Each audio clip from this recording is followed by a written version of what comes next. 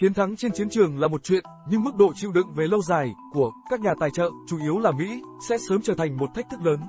Thời gian không đứng về phía lực lượng vũ trang Ukraine trong cuộc phản công kéo dài này. Hiện tại, Ukraine không chỉ phải chiến đấu chống lại quân đội hùng mạnh của Nga, mà còn cả đồng hồ thời tiết ở Đông Âu và cuộc bầu cử tổng thống Mỹ. Câu chuyện hậu thuẫn từ Nhà Trắng Các cuộc bầu cử ở Mỹ rõ ràng đang chống lại Ukraine, vì để Tổng thống Biden tái đắc cử, thì xung đột giữa Nga và Ukraine phải chấm dứt. Nếu xung đột quân sự vẫn tiếp diễn, thì lá phiếu bầu của cử tri đương nhiệm sẽ bị mất, tờ Telegraph viết. Khó có thể làm suy yếu hệ thống phòng thủ của Nga bằng sức mạnh không quân, sự chuẩn bị của Ukraine đã phải dựa vào lực lượng trinh sát, tên lửa và pháo binh để tấn công sở chỉ huy và các tuyến đường tiếp tế, song song với việc thăm dò các yếu điểm để lên kế hoạch với lực lượng mặt đất. Có vẻ như Ukraine đã xác định được trục tấn công thuận lợi nhất từ phía nam Zaporizhia về phía Melitopol và họ dường như đang giao trách nhiệm cho quân đoàn tác chiến số 10 được NATO trang bị và huấn luyện. Trong số nhiều lựa chọn khác nhau, đó sẽ là cách hiệu quả nhất có khả năng giúp Kiev phá vỡ hành lang trên bộ của Nga từ phía đông, cô lập Crimea và lực lượng phía tây đất nước. Dù cho quân đội Ukraine có thành công trong việc chọc thủng tuyến phòng thủ đầu tiên, điều mà họ chưa đạt được, thì con đường phía trước vẫn còn rất dài và đẫm máu. Họ phải đối mặt với hàng dặm chướng ngại vật bao gồm bẫy xe tăng, dây thép gai, bãi mìn, các lô cốt, súng máy, xe tăng, hỏa lực pháo binh, máy bay chiến đấu, trực thăng tấn công, máy bay không người lái và tên lửa. Chiến tranh khó lường hơn bất kỳ hoạt động nào khác của con người và không ai, kể cả những người chỉ huy quân sự ở Kiev hay Moscow, có thể biết liệu Ukraine sẽ thành công hay không, hoặc ở mức độ nào. Nhưng sau khi dành 2 tháng quý giá để cố gắng định hình chiến trường, khi mùa thu đến gần, các kế hoạch tấn công lớn sẽ phải tạm dừng, ít nhất cho đến khi bắt đầu đợt đóng băng mùa đông, vào tháng 11 năm nay và thậm chí có thể cho đến mùa xuân năm sau. Điều này có lẽ đã được đưa vào kế hoạch chiến đấu của cả Ukraine và Nga. Nhưng có một vấn đề nan giải hơn là cuộc tổng tuyển cử mùa đông thất thường có thể có lợi cho cả hai bên ở Mỹ, nhưng nhiều khả năng sẽ chống lại Kiev. Ông Biden mong muốn cuộc chiến này có thể kết thúc trước khi mùa bầu cử diễn ra, vì ông biết rằng, đối với phần lớn người dân Mỹ, chiến tranh là thứ để họ vận động chống lại hơn là ủng hộ. Tiếp tục chiến đấu có nhiều khả năng để mất phiếu bầu hơn là giành được chúng, đặc biệt nếu mọi thứ diễn ra không như ý muốn tại Ukraine. Tuy nhiên, chính quyền Biden có thể chọn leo thang xung đột ở Ukraine. Hai ứng cử viên hàng đầu từ các đảng chính đang tham gia vào chiến dịch tranh cử tổng thống Mỹ. Trong đó có cựu tổng thống Mỹ Donald Trump của Đảng Cộng hòa, ông đang bị cáo buộc với nhiều tội danh làm ảnh hưởng đến sự tín nhiệm của mình. Mặc dù luật pháp Hoa Kỳ không cấm bất kỳ cá nhân nào đang bị điều tra tham gia tranh cử với tư cách ứng cử viên, nhưng có thể việc này sẽ được tòa án tối cao Mỹ giải quyết và đưa ra phán quyết cuối cùng.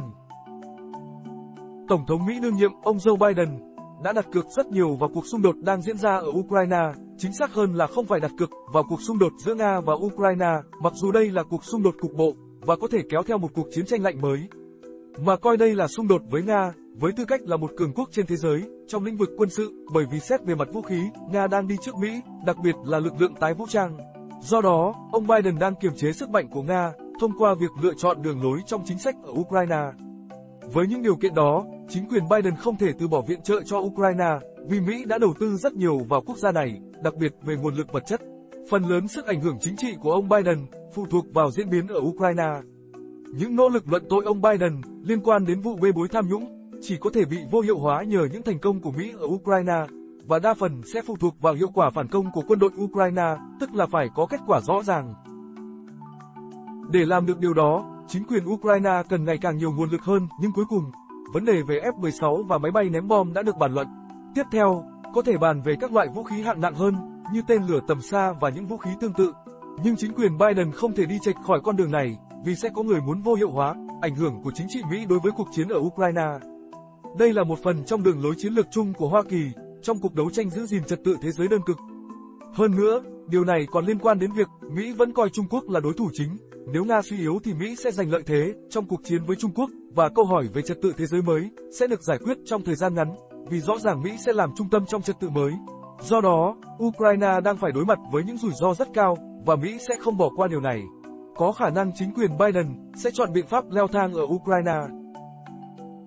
Cục diện chiến trường các cuộc tấn công bằng máy bay không người lái của Nga vào dạng sáng thứ Tư, ngày 2 tháng 8, nhằm vào các cơ sở hạ tầng dọc sông Danube của Ukraine đã gây ra thiệt hại đáng kể. Đây vốn là tuyến đường xuất khẩu ngũ cốc quan trọng của Ukraine. Trong đêm từ thứ ba đến thứ tư, thủ đô Kiev cũng là mục tiêu của các tên lửa ném bom, nhưng các thiết bị này đều bị bắn hạ theo chính quyền Ukraine.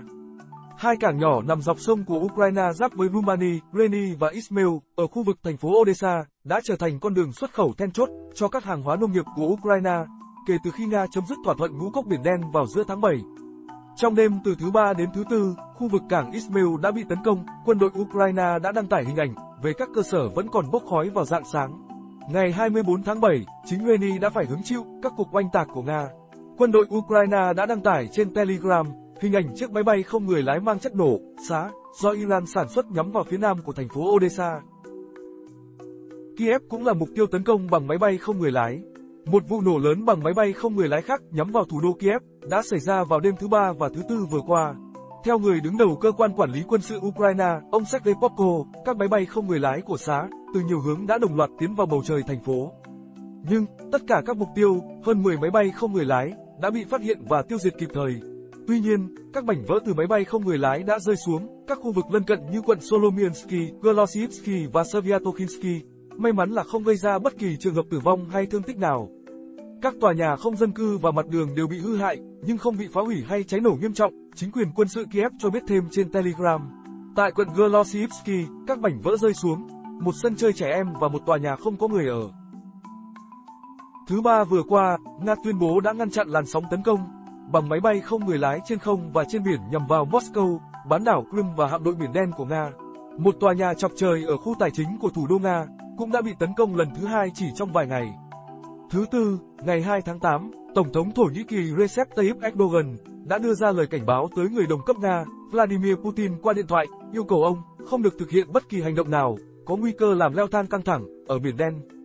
Ông cũng nhấn mạnh tầm quan trọng của sáng kiến ngũ cốc Biển Đen, vì đây là cầu nối hòa bình liên quan đến thỏa thuận ngũ cốc mà Moscow đã rút khỏi, theo lời của Tổng thống Thổ Nhĩ Kỳ. Việc Nga vẫn tiếp tục tấn công cơ sở hạ tầng dân sự của Ukraine dọc sông Danube gần Rumani là không thể chấp nhận được. Tổng thống Rumani Klaus Iohannis cũng đã lên án hành động này.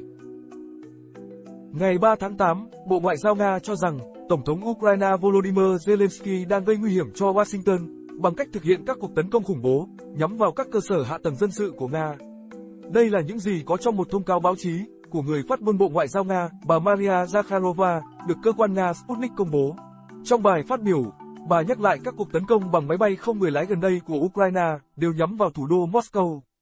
Bà Zakharova cho biết thêm, Tổng thống Zelensky đang đặt Washington vào tình thế nguy hiểm khi triển khai loạt hành vi khủng bố nhắm vào cơ sở hạ tầng dân sự của Nga, và chính Tổng thống Mỹ Joe Biden cũng đang đi trên con đường hủy hoại, với tư cách là quốc gia tài trợ cho chủ nghĩa khủng bố. Bà Zakharova cũng nhận thấy rằng Tổng thống Ukraine đang gây sức ép lên Nhà Trắng để nhận được nhiều sự giúp đỡ hơn. Trước đó vào thứ Ba, ngày 1 tháng 8, Bộ Quốc phòng Nga thông báo rằng Moscow đã bị máy bay không người lái của Ukraine tấn công ngay trong đêm. Trong các video được đăng tải trên mạng xã hội, mọi người có thể nghe thấy âm thanh của các vụ nổ, có thể là của máy bay không người lái ở khu vực thành phố Moscow. Đây là lần tấn công thứ ba chỉ trong vòng một tuần, thành phố này đã phải hứng chịu các cuộc tấn công tương tự vào ngày 24 và 28 tháng 7 không ghi nhận bất kỳ trường hợp thương vong nào.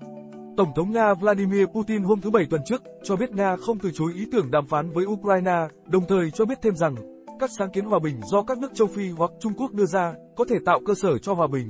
Người đứng đầu Điện Kremlin đã đưa ra tuyên bố này tại một cuộc họp báo sau cuộc gặp với các nhà lãnh đạo châu Phi ở Moscow. Ông Putin cũng cho rằng rất khó thực hiện lệnh ngừng bắn trong khi quân đội Ukraine đang ở thế tiến công. Cảm ơn các bạn đã xem bản tin.